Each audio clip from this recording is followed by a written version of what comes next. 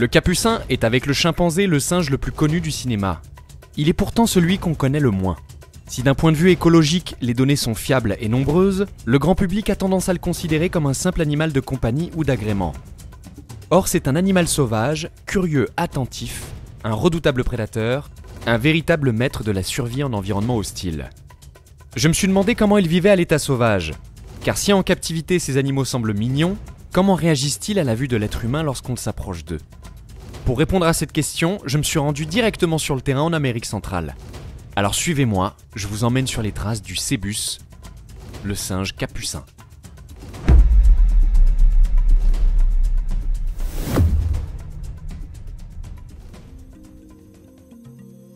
L'Amérique centrale, avec ses 7 pays, représente 522 000 km pour moins de 50 millions d'habitants.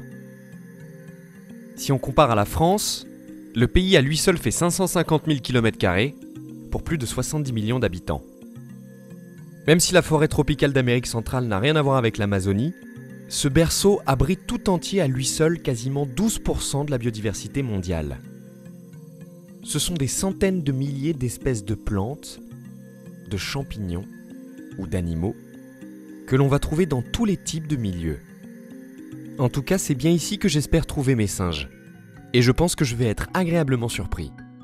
Et pour pouvoir les voir, même si techniquement tu peux en voir un peu partout, bah parce que inévitablement ils se baladent, moi j'ai fait plutôt appel directement à mon ami Alonso, bah que je connais très très bien, et qui lui a l'habitude de faire ça, il sait où ils, sont, il connaît plein d'endroits. et en fait, moi ce que je voulais c'était surtout, euh, après tout le temps passé à les étudier, à les voir à droite, à gauche, euh, dans tout le pays. Moi, ce que je voulais surtout, c'était vous les montrer dans un environnement plutôt tropical, proche de l'eau, donc dans des mangroves. Et pour ça, ça nécessitait d'avoir un bateau. Et c'est pour ça que j'ai fait appel à Alonso. Alonso qui tient le Monkey Mangrove Tour, qui est une valeur sur pouvoir des, euh, euh, des, cappuccinos, donc le, singe, le singe capucin. Et, et on vous embarque. Allez, c'est parti, venez. Parmi tous les types de bateaux que vous pourrez trouver en Amérique centrale, il faut inévitablement, pour pouvoir naviguer dans les mangroves, des bateaux à coque plate. Sous l'eau, les obstacles sont nombreux. Un tronc d'arbre mal placé, ou même pire, un bout de ferraille qui traîne, et c'est la coque du bateau qui prend. De plus, les fluctuations du niveau de l'eau dans les mangroves sont élevées. Ça veut dire qu'on peut très vite se retrouver à naviguer sur des hauts fonds, donc une parcelle sur laquelle le niveau de l'eau est très faible. Ici, ce que nous allons utiliser est une embarcation typique des trajets touristiques. J'en ai déjà pris plusieurs, mais c'était surtout pour aller observer des crocodiles. Sauf que cette fois-ci, plutôt que d'être tous entassés les uns derrière les autres, on a le droit à un tour d'observation totalement privé. J'ai toujours adoré les mangroves. C'est un environnement mais juste de dingue. Sur la rive, en fait le truc, ce qui est, bien et ce qu'il faut avec les mangroves, c'est que tu as de la biodiversité partout. C'est un sanctuaire, une réserve. Tu vas de l'arthropode, donc en passant par les insectes, les arachnides, euh, les crustacés, tout ce qui est invertébré déjà c'est le paradis. Voilà, voilà, tous, les invertébrés, c'est le paradis. Sur toutes les rives, là, tu as des trous partout, tu as des crabes, des petites euh, des mouches, des, euh, guêpes, tu as tout un tas de trucs. Euh, et, après, je te parle pas de ce qu'il y a sur les racines des palétuviers et tout ce qu'on va trouver dans les arbres. Et là, on, a, on est en saison sèche, donc le niveau de l'eau, il est quand même relativement bas. Donc le singe qu'on cherche, alors oui, c'est le capucin. Le truc, c'est que le capucin, tu as plein d'espèces de capucins. Et nous, ici, ce qui est fou, c'est que tu as deux espèces. Tu as le Cebus capucinus et le Cebus imitator. Le truc, c'est que le Cebus imitator, il s'appelle imitator parce qu'il imite le capucinus. Et très honnêtement, apparemment, tu as les deux espèces ici au Costa Rica, sauf qu'il semblerait que personne soit foutu de faire la différence entre les deux. J'ai essayé, je me suis renseigné, j'ai passé beaucoup de temps avec eux, et et j'arrive pas. En fait, il semblerait que la, seule façon de pouvoir faire la différence, c'est vraiment de les avoir côte à côte. Le problème, c'est que pour en avoir côte à côte, c'est chaud parce qu'ils vivent pas euh, en sympatrie et euh, enfin parce qu'ils vivent pas au même endroit et de faire des analyses génétiques. Peut-être que lui sait. Alonso, do you know the difference between Cebus imitator and Cebus capucinus? Because it seems that nobody knows what the difference is, and there's these two species here in Costa Rica. About what? Which kind of animal is The, the, the, cappuccino. There is two species here. There's the imitator and the, cap, the capucinus in Costa Rica. But I don't know how to make the difference and nobody knows. And that's crazy. So which species do you think there is here in this area? Do you think it's the The white face capuchin, the cebus capuchin. the Cebus capucinus? Ok, so vamos a dire Cebus capucinus. Okay. Ok. Voilà. Donc ici apparemment, la légende voudrait que ce soit le Cebus capucinus. C'est même encore plus simple. En fait, si on n'arrive pas à les différencier visuellement, il suffit juste de regarder au niveau de la localisation. Le Cebus capucinus, donc le singe capucin par excellence, se trouvait initialement dans quasiment toute l'Amérique centrale. Il était divisé en plusieurs sous-espèces, dont le Cebus capucinus imitator. Mais de récentes études ont prouvé que Cebus capucinus et Cebus imitator étaient bien deux espèces distinctes. Et que finalement, le Cebus capucinus était tout au sud de l'Amérique centrale. Ici, nous sommes au Costa Rica, et paradoxalement, il n'y a jamais eu ici de Cebus capucinus. Tous les singes que vous verrez sont finalement des Cebus imitator, donc du capucin imitant, et donc une toute autre espèce. Hey guys, Oh, look at tiger. It's a, I, I saw ah, the, the, the birds. Okay, yeah, I, I, I see it. I really love this bird. He's amazing. Là, ce qu'on vient de voir, c'est un. Alors ici, il l'appelle le tiger. What's the name in English? Tiger what? Tiger heron. Tiger heron, le, le héron tigré en fait. Moi, je connais le nom scientifique, c'est Tigrisoma mexicanum, qui est un oiseau, euh, mais juste euh, oufissime en fait. On, on les trouve beaux, gracieux, etc. Mais ça reste des prédateurs de dingue. Des prédateurs de dingue. Ils utilisent leur long bec et leur long cou pour pouvoir justement saisir des proies qu'ils vont trouver le long des rives, le long des ruisseaux, ou alors directement dans des champs ou euh, dans des euh, pseudo-rizières, euh, ou dans des pseudo-rizières. Pardon. En fait, ça filme encore. Tranquille, tranquille. Ou dans des pseudo, ou dans des pseudo-rizières en saison des pluies. Et, euh, et moi je les aime pas parce que c'est des chasseurs, mais parce qu'ils ont un système de stabilisation céphalique de la tête qui est oufissime. C'est-à-dire qu'ils avancent la première fois la tête, et ensuite, hop, tout le corps se rattrape avec le, avec le c'est trop beau. Alors là, c'est vrai qu'on est au Costa Rica pour venir chercher le capucin par excellence, parce que c'est quand même l'un des, des plus connus au niveau de la, de la coloration, au niveau du pattern. Mais tu as 14 espèces de capucins. 14 espèces que tu vas retrouver dans toute l'Amérique latine. Il semblerait que la limite nord, ce soit le Honduras, et limite sud, c'est plutôt Paraguay. Paraguay, je crois. Ouais. Mais, euh, mais vraiment, c'est un singe que tu peux voir très très facilement. euh, Et ici, au Costa Rica, il est absolument pas menacé. Il, prospère vachement bien. Ici, tu as des très très grandes colonies. Et c'est ça qui est, euh, ça qui est, dingue, c'est qu'apparemment, sur les papiers, moi, toutes les thèses que j'ai observées, les, les familles seraient d'une quinzaine d'individus. Sauf qu'ici, les familles qu'on a, on va jusqu'à 40 individus par famille. Et il y a 4 familles dans la zone. Et on ne sait pas encore laquelle on va voir. On va voir avec Alonso parce que lui, il les connaît. Parce que oui, on peut les reconnaître grâce à leur visage. Au même titre que les humains en fait, hein, c'est pareil. Yeah, another one. Eh, si vous voulez voir des basiliques, ici il y en a plein. On continue d'avancer et la chance est de notre côté. Ce matin, on s'est levé tôt. Ça veut dire qu'on a toute la journée pour pouvoir trouver des singes. On en profite aussi pour observer tout ce que nous ne voyons pas qui est immense. L'envers du décor. Car si notre objectif reste les singes, n'oublions pas que l'endroit où nous sommes, la mangrove, regorge de biodiversité. Yeah. Yes, of course. Vous entendez ça ou pas? Évidemment que vous l'entendez, quelle question de... débile.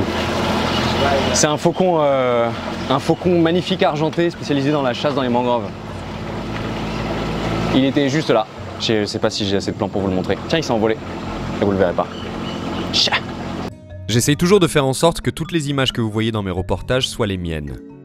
À l'exception de quelques rares vidéos empruntées ici et là, la quasi-totalité de ce que vous pouvez voir sur mon contenu provient de mon travail. Et je compte bien vous rincer d'images de singes. Tu m'étonnes, moi si j'étais un singe et que je vivais dans un endroit comme ça, tu sais, ça a l'air paradisiaque, c'est sympa, c'est stylé, mais ça reste de la mangrove, il y a des prédateurs qui t'arrachent là, qui niquent. De ouf Enfin, pour le moment, le plus grand danger, c'est l'homme. Un bateau manque de nous percuter. Alonso fait une dernière manœuvre d'évitement qui nous envoie directement dans le décor.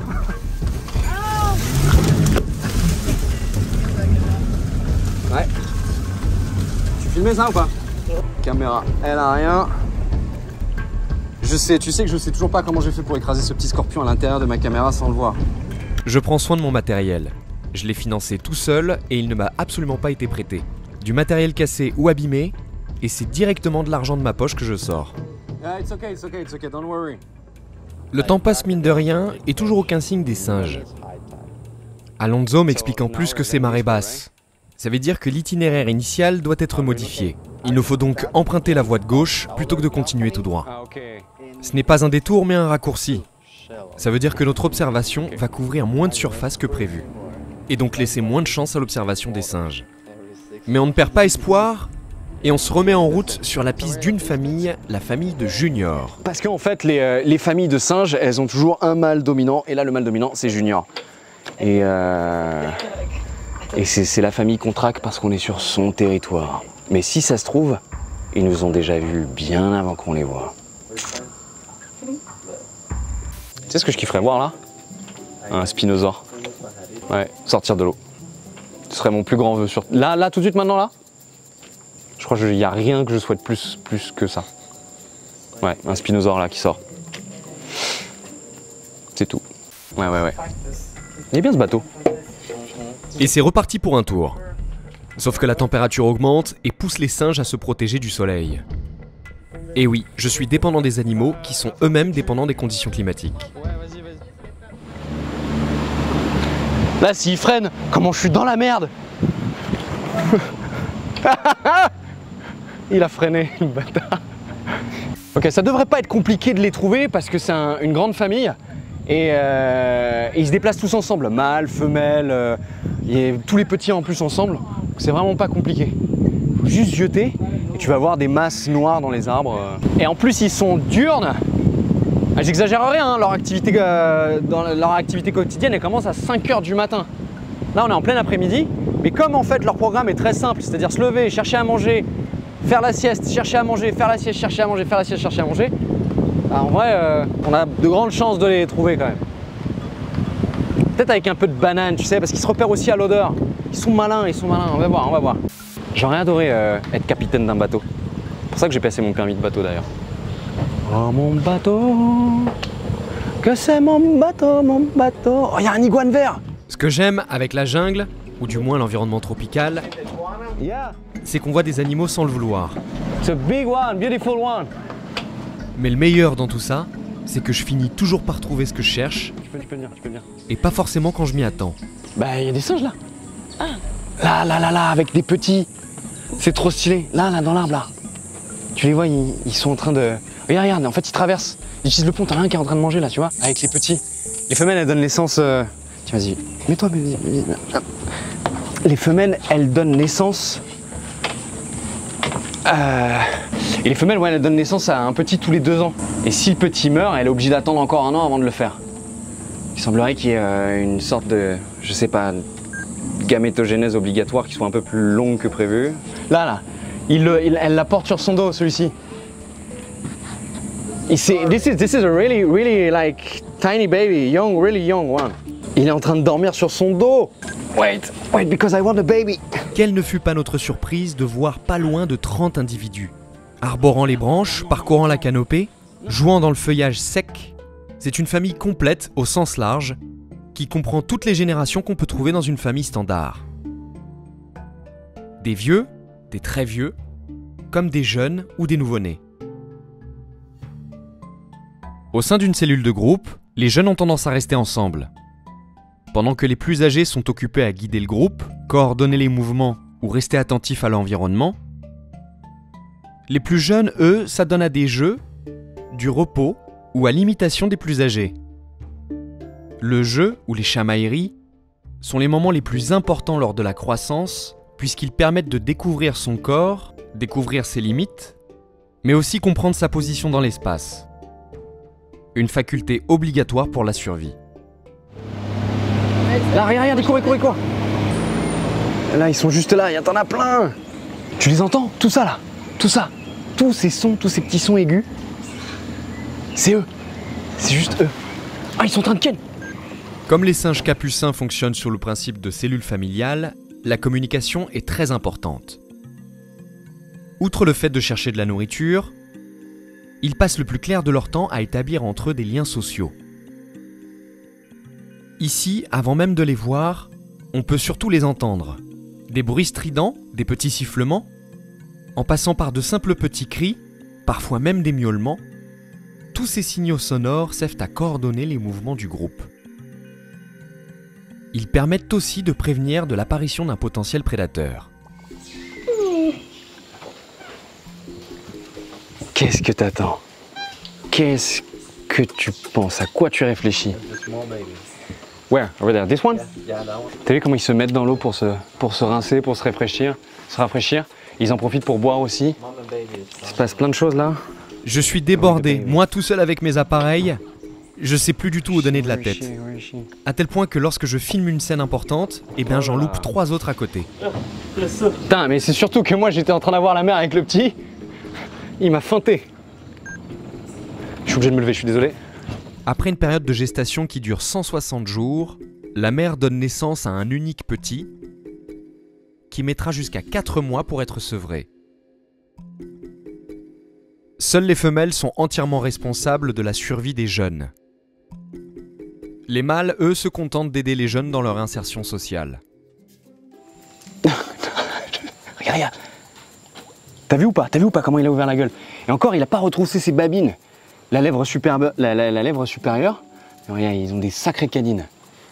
Et celui-là, c'est un petit curieux. Regarde, regarde. Au niveau des pattes, ils ont des, des ongles, donc qui sont apparentés à vraiment à ce niveau-là, on peut dire des griffes. Comme c'est des primates, tu vois. Ils ont des griffes qui leur permettent d'arracher les écorces, de creuser des trous, de creuser. Regarde ce qu'il est en train de faire là. Tu vois, il est en train de, il est en train de mettre les pattes là comme ça là pour aller chercher, pour trouver des larves. Hein Qu'est-ce que tu fais? Qu'est-ce que tu fous, petit bonhomme? Qu'est-ce que tu fous, petit bonhomme? Quoi? J'essaie de les appeler, ça, ça marche, tant mieux, ça marche pas, tant pis, c'est pas grave. Juge pas, juge pas, juge pas, juge pas, juge pas. Je fais tout, qu'est-ce que je veux, c'est ma vidéo, je m'en fous. Mais euh, c'est vrai qu'ils sont là-bas, les singes, maintenant. Ce serait bien d'aller là-bas. Heureusement pour nous, le moment de la journée est une phase de recherche alimentaire.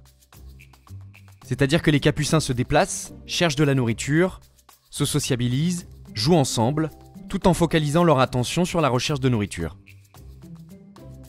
Mais si cette famille se déplace en groupe, il est pas rare parfois d'observer des mâles solitaires. Ces mâles, tout juste matures, font comme la plupart des mammifères, c'est-à-dire qu'ils quittent le groupe principal pour partir à la recherche d'un autre groupe ou d'un nouveau territoire. Cette indépendance survient vers l'âge de 6 à 7 ans pour les mâles. C'est le temps qu'il faut pour atteindre la maturité sexuelle. Et ce temps est beaucoup plus long chez les mâles que chez les femelles. Si une femelle sera mature aux alentours de 5 ans, il faudra compter entre 7 et 10 ans pour qu'un mâle le soit. C'est un développement ontogénique relativement moyen. Il n'est pas rare d'ailleurs d'observer des individus quasiment adultes encore sur le dos de leur mère. Je suis en train de prendre le contrôle du bateau d'Alonso, indépendamment de sa volonté. Faudrait pas allumer le moteur. Le groupe s'en va, et pourtant il faut le suivre. T'as comment j'ai. Eh, Mais j'ai pas envie d'allumer le moteur. Le bruit pourrait les effrayer. Alonso, Alonso Ok. Après, ils ont l'air d'être quand même un peu habitués, tu vois, mais. euh, Je suis dégoûté, j'en ai vu Ken là tout à l'heure, j'aurais voulu voir le plan. Tu les as vus aussi? C'était trop cool. Ouais, alors ce qui est étonnant, c'est qu'un jour on en a vu un se masturber avec une bouteille en plastique euh, à cause de la pollution. En fait, euh, il y, a, il y a des endroits euh, qui sont quand même pollués, même s'il y a des gros efforts qui sont faits pour préserver l'environnement, tu peux pas empêcher les gens de jeter euh, juste avec des panneaux ou des, ou, des, ou des amendes ou des contraventions. Et encore hier soir, tu vois, j'ai vu un mec jeter sa canette. Et euh, le truc, c'est que. Et le truc, c'est que. Ben, Merde. Et le truc, c'est que euh, ils ramassent les objets qui sont euh, sur le sol, en milieu anthropique comme ça, euh, qui sont un peu pollués. Et c'est- horrible en fait. On peut trouver ça drôle parce que ok, c'est un singe qui se masturbe avec une bouteille, mais euh, mais c'est dégueulasse en fait. Jette dans une poubelle. Tu vois? Parce que ça, ça c'est pas des déchets qui sont tombés, euh, qui n'ont pas été triés. C'est des déchets qui n'ont pas été jetés, c'est sûr. J'ai observé ça souvent au cours de mes voyages. Les interactions avec les objets humains. Le dernier exemple que j'ai en tête s'est passé à Sulawesi.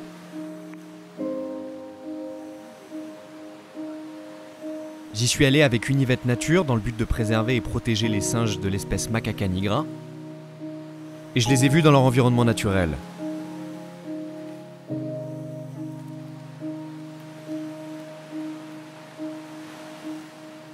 Malgré l'effort des rangers, leur forêt est dévastée par les déchets humains.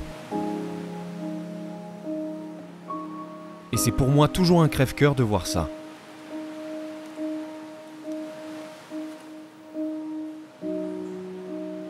Mais ici, le traitement des déchets fonctionne plutôt bien.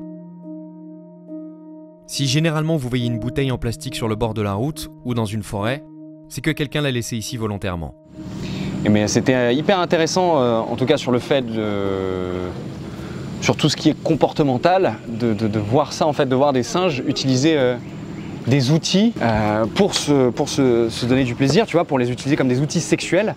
malgré le fait que bah, finalement on sait que ce sont des singes qui utilisent aussi des outils pour se nourrir, tu vois, comme des petits bâtons, des petites pierres, Qu'est-ce qu'ils sont beaux ceux-là Parmi les signaux de communication, certains me sont directement destinés. Ici, ces gros mâles me montrent les crocs. Ils ont pour but de m'intimider. Ces animaux ne sont absolument pas mignons, ils sont sauvages, et ça malgré leur bonne bouille. Cette position déimatique est une caractéristique du singe capucin. Deux mâles se mettent l'un au-dessus de l'autre et montrent leurs crocs en même temps. Je n'ai pas beaucoup de plans de ce comportement. Le seul que j'ai, malheureusement, tremble. Mais ça vous donne une idée du type de comportement auquel on peut avoir affaire quand on se frotte au singe capucin. Ça change radicalement des comportements qu'on peut avoir en captivité. Et je vous avoue que dans cette position-là, je n'ai pas du tout envie de m'y frotter. C'est bien les gars, c'est bien, merci. Merci, c'était exactement les comportements que je voulais. Les voilà, les voilà, les voilà les singes. Les voilà. Alors tu vois, tu vois comment ils regardent? Comment ils regardent, ils sont comme ça là, ils froncent les sourcils, ils sont au-dessus de toi. Vraiment, j'essaye de, garder une voix qui n'est pas non plus euh, hyper haute, mais qui n'est pas non plus très basse. Parce que là, là, là euh, c'est que des mâles, là, ça se voit, ils ont les épaules larges, ils ont les muscles robustes. Et Kong, il est là-bas. Là, il y a une interaction sociale. Merde. C'est génial, ils sont en train d'interagir partout autour de nous, de jouer ensemble. Euh, de faire de la domination, donc ils, font euh, de coït. C'est hyper connu, tu retrouves la même chose, c'est les chiens, il y a beaucoup de mammifères qui font ça, beaucoup de mammifères sociaux euh, qui vivent en cellules de groupe. Tu vois, mais là, là, là t'as les deux petits jeunes qui sont en train de jouer là-haut. C'est beaucoup trop beau.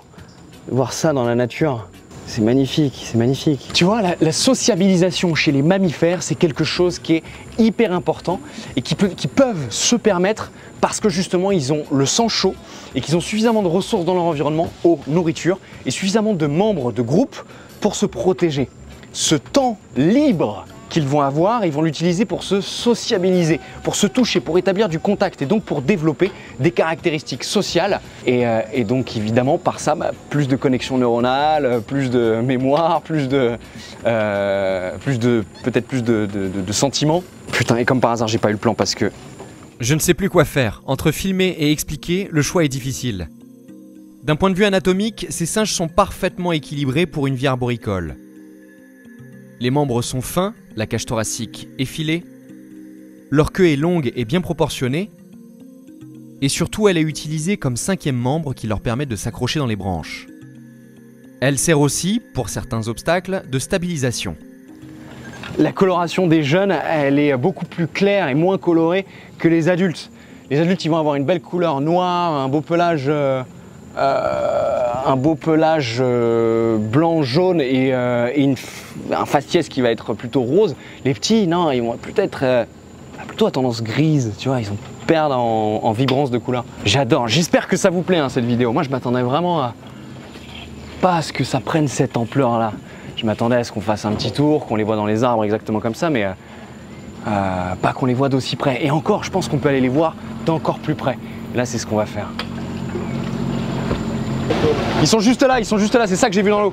Donc tu gères bien ta, tu gères bien ta luminosité. Cette fois-ci, c'est un autre groupe, moins nombreux et moins timides. On va peut-être avoir la chance de les approcher d'encore plus près. Là, ils sont dans l'arbre là. Là, t'en as un là-haut là, de noir. C'est pas des très très gros singes, les gros mâles, ils font 4 kg. Regarde, ils viennent boire là-bas. Je crois qu'il y a un autre bateau. Qu'est-ce qu'ils font? Il y en a un qui boit là, il y en a un qui boit. Ah là là là là là là là là, mais quel plaisir. Tu les entends Écoute-les. Ils communiquent entre eux. Every monkey face is different. Right here in front of us we have the alpha male. Look, he's trying to get an insect. If you want, let me take a position over there. These guys are really friendly because the difference in here, these guys don't know the human food. They just know the fruits around here. Like, this is the boss. He's... Regarde ce qu'il fait. T'as vu ce qu'il fait? T'as vu comment il communique? T'as vu ça un peu? Et c'est ça qui en fait un singe tout particulièrement intelligent avec une mémoire exceptionnelle. Leur communication, ils ont tout misé sur une communication qui va être visuelle, sensorielle, tactile donc, et sonore. Ils font que ça, communiquer, mais pas seulement pousser des petits cris. Et on a tendance à se dire que que c'est euh, la majeure partie de leur communication, mais en fait pas du tout. La majeure partie de leur communication, elle est visuelle, elle se passe dans les yeux, dans le regard, dans les expressions du, visage. Et c'est ça qui est fabuleux. N'importe quel geste qu'ils vont faire, il faut l'interpréter euh, comme étant une information qui se donne entre eux. Parmi ces informations visuelles, les doigts, les narines, les sourcils ont une place très importante.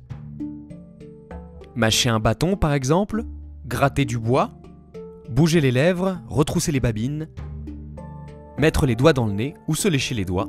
Ce sont souvent des jeux que les individus imitent pour se rapprocher et se sentir en confiance avec les autres membres du groupe. Allez, caméra, Encore une fois, je suis débordé. tu filmes là haut Bah c'est très bien. Je suis en train de louper des choses ou pas? Il y a trop d'informations autour de moi. Ok. J'essaye, mais j'y arrive pas. The small, the small monkey. Alors attends, parce que là j'ai trop de trucs. Mais la chance qu'on a, c'est que ces singes-là, eux, sont très curieux. Ils ont l'air habitués à la présence humaine. Dans d'autres circonstances, ce serait dangereux pour eux, parce qu'ils seraient beaucoup plus facilement chassés. Or ici, au Costa Rica, toute chasse est complètement proscrite. Que ce soit pour la fourmi, un papillon, un crocodile, un singe, peu importe, les Costaricains ne font pas de différence, toutes les espèces animales végétales sont protégées. That's COVID. Corbett? COVID is the same. He, he born in December 2019. We put COVID in that moment to start all the problem with the COVID. That's why. so he is the same than Susie. He is daughter of the the alpha female Maria and the alpha male Junior. Hey, Donc c'est tout une organisation familiale. Et vous avez vu à quel point, en fait, Alonso qui travaille ici, c'est absolument tous les reconnaître. Enfin lui, euh, il sait absolument tous les reconnaître. Et oui, parce que ce qui se passe... euh, Attends, deux faut que j'arrive à m'organiser. Parce qu'entre filmer tout ce qui se passe... Chaque singe, comme chez les humains, possède un faciès bien à lui. Les espèces animales qui sont dotées d'une vision capable de former une image doivent pouvoir se reconnaître entre individus. Et c'est encore plus évolué chez les espèces sociales. Si nous, les humains, sommes capables de nous reconnaître les uns les autres, même si on regarde un groupe de singes et que tous les individus semblent pareils, finalement, il n'en est rien. Tous ont un petit détail qui les distingue des autres. Et ça, on finit par le voir seulement en passant du temps avec eux. This family is about how many individuals? These guys Members. are about 30, 30 members. 30 ou 30. Tu vois, on est loin de la dizaine, quinzaine qu'on peut voir d'habitude. Vraiment, faut pas sous-estimer le nombre d'individus qu'on peut avoir. And of course, you know all of them. You know how to recognize all of them. Of 30 members, I know about 18 names. 18 names. The friendly ones, one that always we see close, because some others are shy and they keep far away. Ah, of course. so of I course. can't remember because the the Who is this one? That is Sarah. Sarah, okay. It is a female. She looks uh, older than the other, right? That is all. Well, it's about I can say about nine, ten years old. Vous avez vu cette caractéristique qu'ils ont, euh, cette espèce de, de calotte qu'ils ont sur le crâne, cette calotte noire avec le, le masque blanc, et ben c'est pour ça qu'on les appelle les Cébus capucinus. Parce que ça fait référence aux frères capucins. Quoi? Non, j'allais dire une blague, mais non, c'est bon. Une blague euh, de cul Non, de Ok. avec une calotte sur la tête. Euh, Ah, les, les singes juifs, c'est ça Des singes juifs Eh ben non, c'est euh, chrétien, les frères capucins. Ouais, ça fait référence à ça. Et c'est- assez remarquable hein, à quel point elle est, euh, elle est bien démarquée euh, sur, le, sur le crâne, ah, au-dessus du crâne. D'ailleurs, une autre caractéristique, pas seulement propre aux capucins, mais à toutes les espèces de singes du continent américain, ils ont les narines orientées sur le côté, par opposition aux singes du continent africain et asiatique, qui eux possèdent des narines orientées vers l'avant. C'est d'ailleurs la différence majeure qu'il y a entre les espèces de singes de l'Ancien Monde et les espèces de singes du Nouveau Monde. Ici, il y a quand même des prédateurs. Dans l'eau, il peut y avoir caïmans, crocodiles, des trucs qui peuvent facilement les bouffer. Et alors, un comportement qui, à ma connaissance, n'est pas souvent filmé en documentaire ou dont tout le monde ne fait pas attention, ce qui est bien, c'est qu'on va pouvoir vous le montrer, c'est que, je ne sais pas si vous avez remarqué, mais derrière moi, depuis tout à l'heure, ils descendent, ils montent sur les branches, ils font plein de trucs. Et mais ils font pas ça au hasard. Regarde celui-ci, il, il descend, il trempe la queue dans l'eau, ensuite il remonte, et comme la queue eh ben, est pleine de fourrure, cette fourrure s'imbibe de flotte, et eux, ils en profitent pour aller boire directement sur les branches, à l'abri de la surface de l'eau. Attention, il y a quand même d'autres singes, des capucins pareils, hein, qui vont venir boire directement en lapant la surface. Mais ça, ça c'est génial comme comportement. Ça, on en, ça on le lit pas forcément, tu vois. Et là ça, c'est de la bon, c'est de la bon. Can you do it again, please? Go, go! So now you're calling them, right? I'm calling like, hey, where, where you going? Stay here. But this is not the sound of a cappuccino. It's like a song that you, the keeper, uh, they can the recognize our sound yeah. because they see see us every day. of course. So you hear that? My cows. Yeah, of Look, course. flying. They're flying. Of course. They're my cows. Encore des perroquets, Look. mais on fera une vidéo sur les perroquets plus tard. Always by, euh, toujours par deux, toujours par deux, en binôme. Parfois tu peux en avoir un, un troisième, c'est un jeune qui est encore avec les parents. Ah, on est en plein dans la période où ils vont commencer à nidifier là, c'est c'est trop trop stylé. Je suis content d'observer des singes dans cet environnement-là. Du moins dans ces conditions. Il y a d'autres endroits, comme les parcs nationaux, avec des aires de pique-nique où les singes sont beaucoup trop proches des humains. Les interactions entre les humains et les animaux ne sont pas cadrées, ou du moins très peu, ce qui amène à des débordements. La plupart des gens veulent toucher, approcher de plus près, mais ce sont surtout les singes qui s'approchent au plus près des humains. Ils vont même jusqu'à leur chipper la nourriture voire même certains effets personnels. Il y a d'autres endroits où euh, les singes ils sont habitués à ce que les humains leur donnent des choses, donc forcément ils vont tout prendre, les lunettes, les téléphones, les bagues, et c'est là que ça devient dangereux, parce qu'un singe qui veut te prendre quelque chose, il va te l'arracher, et tu peux te faire arracher le visage, je te jure que c'est vrai, je te jure que c'est vrai. Ces petits singes-là, ils vont pas t'arracher la moitié du visage, mais ils peuvent te faire très mal, te crever un œil, te mordre, ça peut aller très très vite. Donc ne donnez jamais à rien à bouffer à des singes, même pour une activité touristique, toujours essayer de refuser le contact et, euh, et ne les habituez pas à ça parce que ça peut être dangereux pour vous. En fait, surtout eux, après, euh, bon, bah, c'est sûr qu'il va y avoir du diabète, du cholestérol, euh, de l'urémie, ce qu'ils veulent. Bon, bah, voilà, c'est malheureux aussi. Mais pensez-y, tout ça, on n'y pense pas forcément. Tu vois, juste des petits détails, des petits tips. Je vous le donne, c'est cadeau. Mais c'est cool, non? Hein? C'est pas trop si Ah. Moi j'adore. Ça va, tu kiffes? Oui? Yeah. Yeah. On a une, une, euh, astrophysicienne internationale gonna vous allez peut-être a voir. Banana and give it to him. Autour de nous, il y a des mâles et des femelles. La principale différence entre les deux, c'est surtout une question de musculature.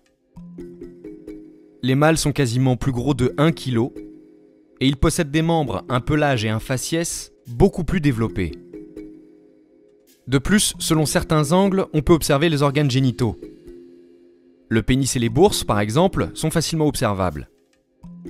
Chez certaines espèces de singes, rendre visibles les parties génitales constitue un atout reproducteur. Chez le singe hurleur, par exemple, les bourses sont particulièrement développées. Chez le capucin, cependant, elles seront beaucoup plus discrètes.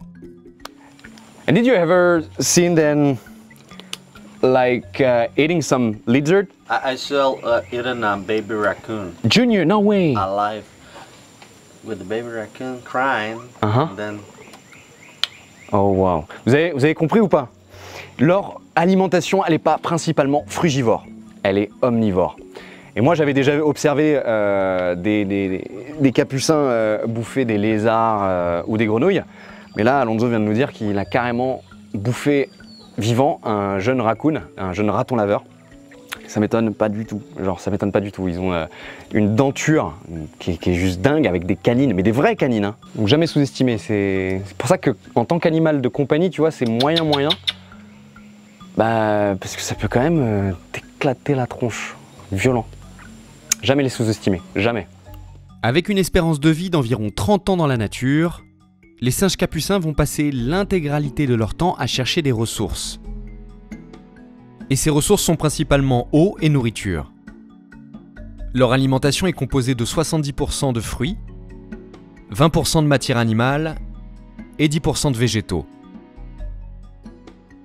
Qu'ils vont trouver dans tout type de milieu.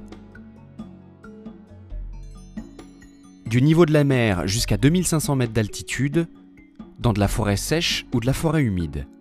Cependant, c'est la réduction radicale de leur espace vital qui est la cause principale de leur destruction.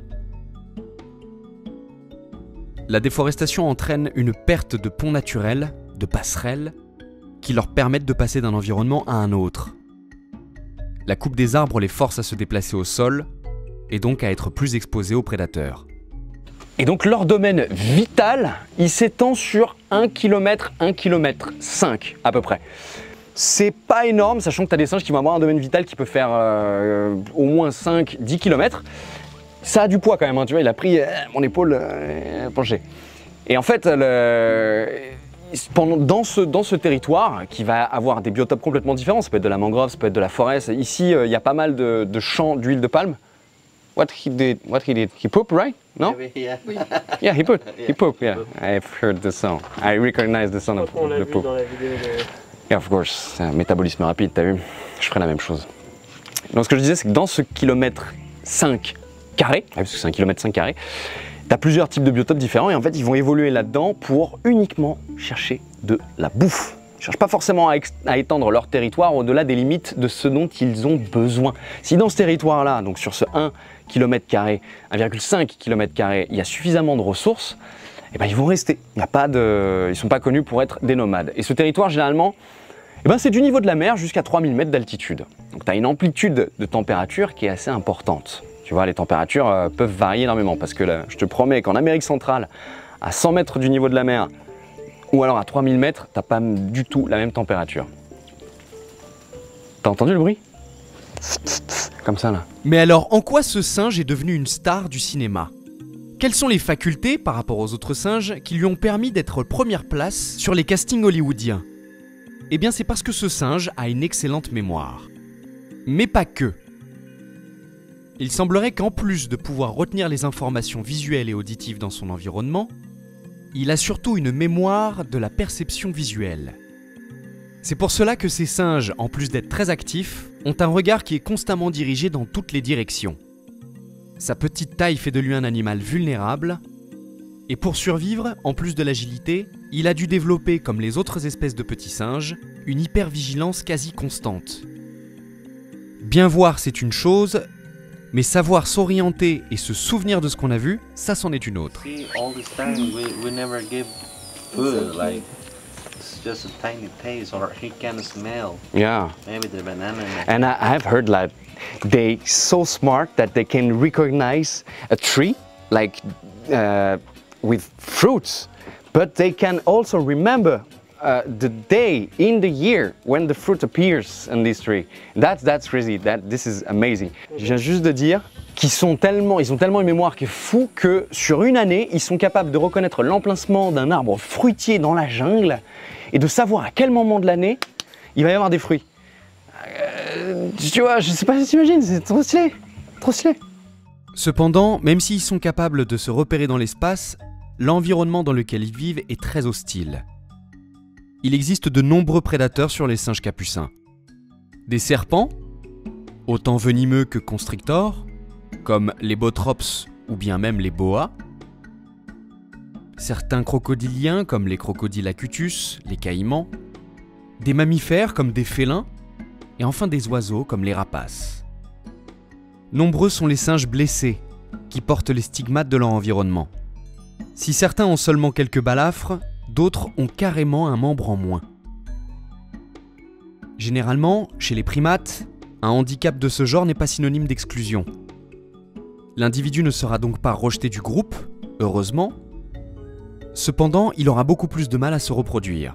Faire rien, rien, rien, rien, ce qu'il fait, rien, ce qu'il fait. Il passe directement, tu vois, t'as juste à être patiente. Ouais. Juste à être Est-ce qu'il fait quelque chose? Genre, est-ce qu'il se à se gratter. il His baby just you have a smell and he like it. That's why he moves Yeah. with you. Do you think he liked the smell of her because she's a female, or just human smell, or random It smelling? doesn't matter because sometimes, for example, I bring some um, lemon. Uh huh.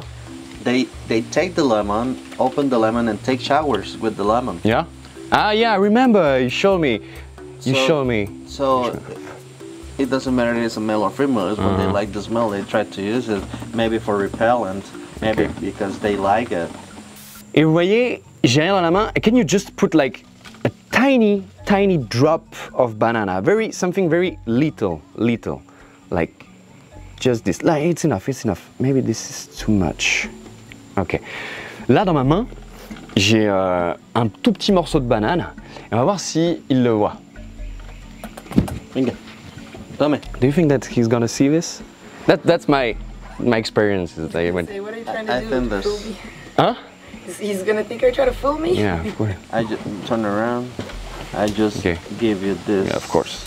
Il faut noter que les capucins sauvages sont porteurs de maladies qui peuvent être transmises à l'espèce humaine. Microfilaire ou paludisme, ces maladies semblent cependant être beaucoup plus présentes chez les jeunes individus qui ont un système immunitaire défaillant. Donc plus sensibles aux infections. Cela dit, aujourd'hui je prends le risque, même si je ne risque pas grand-chose, le risque zéro n'existe pas, pour vous présenter une espèce méconnue, mais qui parle à tout le monde. Ça pèse son poids quand même. Ça pèse son poids. Ok, he just like licked. Il a juste léché la main. En même temps, euh, il n'allait pas manger, il n'allait pas m'arracher les doigts. Mais euh, ça, c'était un gros mâle. Un gros mâle de like weight 3, 4 kilos. About three kilos. Yeah, 3 kilos. Et euh, he's like old. He looks old. This guy is about 13 years old. 13. About 13. Alors, convaincu? C'est ici que je vous abandonne. C'était Yvan pour Animaux Mode d'Emploi. Et prospérité. Et surtout, s'il y a des animaux que tu as envie que j'aille voir dans la nature, mets-le dans les commentaires. Peut-être que j'irai, on sait jamais. Hum et puis surtout, partage. Bisous.